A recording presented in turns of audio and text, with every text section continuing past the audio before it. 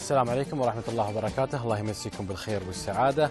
واليوم عندنا ثلاث مباريات كالمعتاد في ختام الجولة آه، الثانية. عندي اليوم مباراة قطر ونادي السد في استاد سحيم بن حمد في نادي آه، قطر. وعندي الله يسلمكم الخريطيات ونادي الغرافة في ملعب الخور هناك في الشمال. وكذلك عندي مقابلة آه، ثالثة في نفس التوقيت توقيت الخريطيات والغرافة مباراة العربي ونادي الخور. هذه المباراة تقام في استاد حمد الكبير.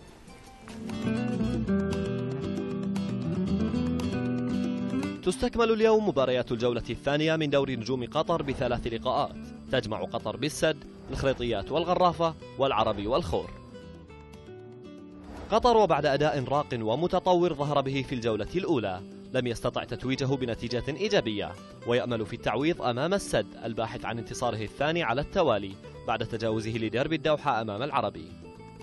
وباعتماده على بكاري كوني ومحمد رزاق في المقدمة. سيشكل الملك القطراوي خطرا كبيرا على الدفاعات السداوية. الغائب عنها قائدها عبد الله كوني للإصابة. أما الزعيم فسيسعى لفك الشفرة القطراوية التي حرمته خمس نقاط بالموسم الماضي. وبراؤول وانيانغ يؤمل السداوية كثيرا في الموسم الحالي الذي سيبحث فيه الزعيم عن استعادة أمجاده المحلية. اللقاء الثاني يحل فيه الغرافة ضيفا على الخريطيات ومدربه سيلاس أعلن أن هدفه هو درع الدوري رغم الخسارة المفاجئة في بداية المشوار إلا أنه يرى بلقاء الخريطيات هو الانطلاقة الفعلية للفهود. وعلى الجانب الآخر تسعى الصواعق لاستعادة بريقها الذي ظهرت به بنهاية الموسم الماضي. قبل أن تضيع مزيدا من النقاط تجنبا للدخول في حسابات معقدة بنهاية الموسم. سيموندي أكد تصحيحه لأخطاء لقاء الخور وأن فريقها الآن أصبح جاهزا لحصد النقاط الثلاث من فم الفهود. ختام الجولة الثانية سيكون بلقاء يحل فيه الخور ضيفا على العربي وهو الساعي لتسجيل انتصاره الثاني على التوالي بعد تجاوزه للخريطيات في المرحلة الأولى. ولكن الفرسان يأملون بتحسين الصورة الباهتة التي ظهروا بها وطمأنة جماهيرهم من خلال مواجهة خصم قوي كالفريق العرباوي الذي على العكس تماما. ظهر بصورة أفضل ولكنه خسر أمام السد ويسعى من بوابة الخور لتحسين المسار وتسجيل أول النقاط في الدوري. لوشانتير رفض كل الانتقادات وتوعد بعربي مختلف في ظل عودة بوعلام ويوسف حجي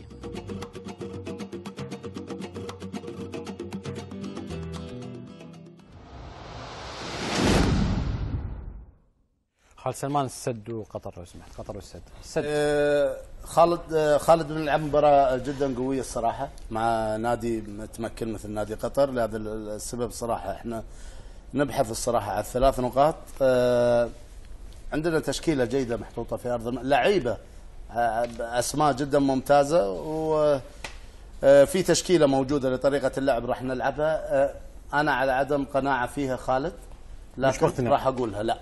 ور- وراح أقول المسببات ليش أنا ألعب بهذه الطريقة وبهذا الأسلوب. آه، نلعب محمد صقر نلعب قدامه ثلاثة لعيبة كسولة ولي وإبراهيم ماجد. نلعب قدامهم أربعة. هيدوس ونذير بولحاج وطلال وعبد الكريم قدامهم طبعا بيكون خلفان ورؤول وقدام ممادو. أول شيء خالد ال- التحفظ المشكلة الكبيرة اللي عندنا ليش إحنا نلعب بهذه الطريقة؟ لنخلي أكبر عدد من اللعيبة الموجودين في في المنتخب إنه يشاركون في المباراة. آه، طريقة اللعب الموجودة هذه اللي, نلعب بها بطريقة ثلاثة أنا أعتقد أمام نادي قطر ما نحتاج أن نلعبها. ليش؟ لأن بالأساس نادي قطر يلعب بمهاجم واحد في الأمام اللي هو رزاق وتحته بكاري كوني. وليش خط الثلاثي هذا الموجود المدافع آه، آه، ما له ما له داعي؟ يعني كان بالإمكان أن نلعب بهذا الأسلوب نلعب برباعي الدفاع ناصر نبيل وكسولة وإبراهيم آه، وقصدي إبراهيم ماجد ولي وعبد الكريم على اليسار اثنين محاور قدام طلال وكسولة قدامهم خلفان على اليمين وعلى اليسار نذير بولحاج والراؤول وتحته مامادو هذه تشكيلة مثالية جدا فيها اتزان في خط الدفاع فيها اتزان في وسط الملعب فيها مشاركة تخدمني أنا. أنا أعطيت هذا الشيء مبكر لأسجل علامة استفهام في طريقة اللي- اللعب اللي نلعبها والتشكيل. هل ما يعني بالنسبة لنا لقرار اتحاد كرة القدم مشاركة المنتخب تلعب في حتى في استراتيجية الفريق؟ شكرا لك خالد سلمان وياكم. إلى أرض الملعب آه، هالمرة مع خالد عرافة. تفضل يا خالد. شكرا لك خالد مساء الخير عليكم ومساء الخير على جميع السادة المشاهدين. تابعونا دائما عبر قنواتكم قنوات الدوري والكأس الرياضية. مباراة اليوم مباراة المفروض إنها مباراة قمة. السد وقطر أو خلينا نقول قطر والسد بما أننا بملعب قطر معنا الأستاذ سالم العلي. أبو عبد الرحمن من زمان عنك كل عام بخير كيف أمورك؟ شو أخبارك؟ الله يسلمك. تحياتي لك وتحياتي حق مشاهدين قناة الدوري والكأس والإخوان في المجلس. ألف تحية لهم. وكل سنة وأنت طيب إن شاء الله. وعيد. علينا إن شاء الله. إن شاء الله. ابو عبد الرحمن لما نتكلم عن السد، السد السنة الماضيه يعني ما شاء الله إنجاز تحقق اللي هو البطولة الآسيوية محليا كنتم محتاجين لشيء وصول لنا نهائيين إن ما كنت مخطئ. هالسنة يعني لعل الأسماء موجودة لكن اللهم أنه آه، راؤول طبعا اسم بحد ذاته موجود في الجولة الأولى رغم الفوز لم يظهر السد بمستوى اللي متوقعينه الأغلبية. إي مو بمخطئ إن شاء الله الفريق وصل نهائيين الموسم اللي فات وفريق يوصل نهائيين ويحصل على البطولة الآسيوية أعتقد إنه حقق مطالبة إلى حد ما في ظل المطالبة الجماهيرية بالفوز ببطولة محلية.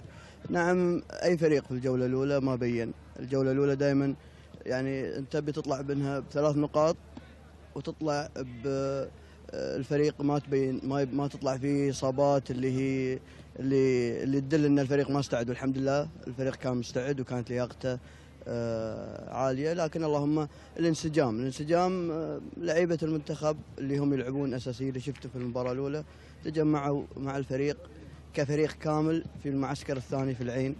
آه، جزء منهم لعب في نهائي وقبل نهائي كالشيخ جاسم. لكن الفريق بأكمله يعني الفريق ما تجمع إلا في في في آه، معسكر العين. لكن إذا كانت البداية مثل ما شفناها في في آه، اللي ما عجبت أكيد النقاد. النقاد أكيد ينتظرون المزيد من الفرق اللي عليها ضغط المنافسة على الدوري لكن ما في فريق سهل السنة. الفرق كلها يعني آه، بينت إنها مستعدة استعداد قوي لهذا الموسم. طيب مباراة اليوم خلينا نتكلم عنها، قطر خسران آه، المباراة الماضية، قطر جاب قصي منير اللي كان محتاج لهم يعني خلاص الآن سفري وقصي منير اثنين محاور قفلوا، آه، كيف يعني كيف نظرتك لمباراة اليوم بصراحة؟ فريق نادي قطر فريق قوي فريق لا يستهان به مدرب على مستوى عالي لعيبه على مستوى عالي دائما مباراة السد وقطر يعني الموسم اللي فات القسم الأول 0 0 الموسم القسم الثاني 3 0